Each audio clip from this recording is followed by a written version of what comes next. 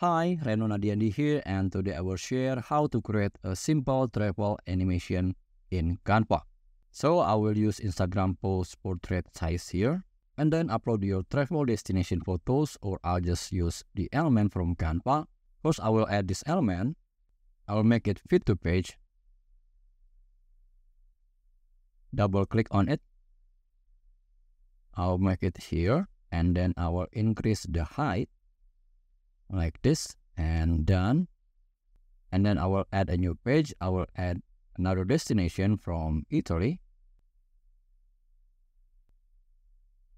Fit to page and repeat it on another page.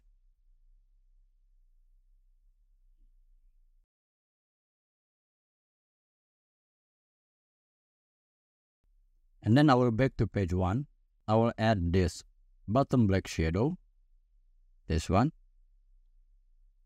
I'll place it here. And add the height like this. And then I will add the square frame. I will add this one. I will place it here. And then I will round it, it corner rounding like this. Reduce the size a little and then duplicate place it here. Duplicate duplicate. And then select them four and reduce the size like this and place in the center. And then go back to the element of uh, the travel destination. I will add the Rome and place it here. And then I will add the Venice. Place it here double click and adjust the position. Now I will add this square and I will place it here.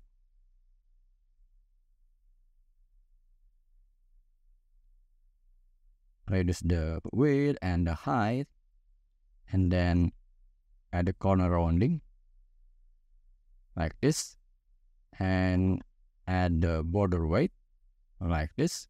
I will increase the size a little and click the color button and make it no color and change the border color to white.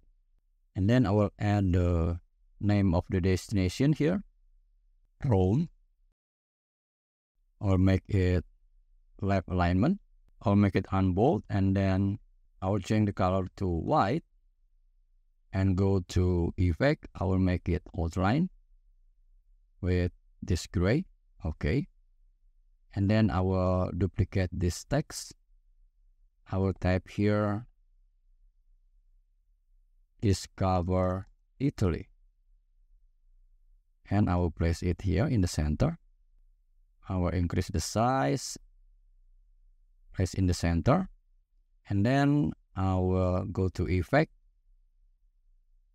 I will make it shadow and add the transparency and change the color to black and add the blur okay?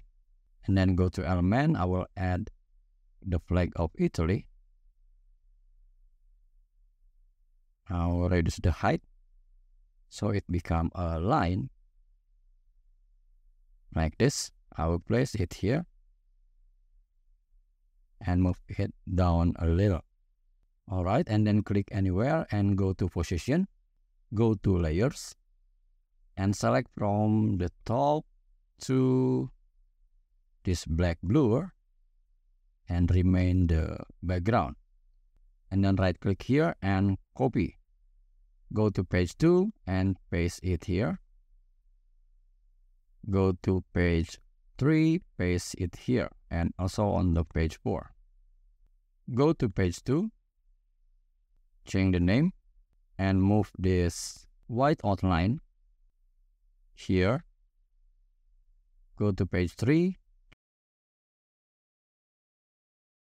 okay and then now click this thumbnail view and then click duration. Click here on the time edit I will make it 1.5 and then apply to all pages.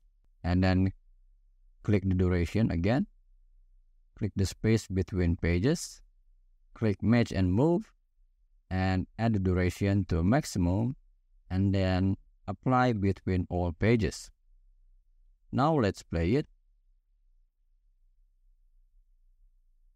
And then download it as MP4. So now you have it. See you next video and have fun with Canva.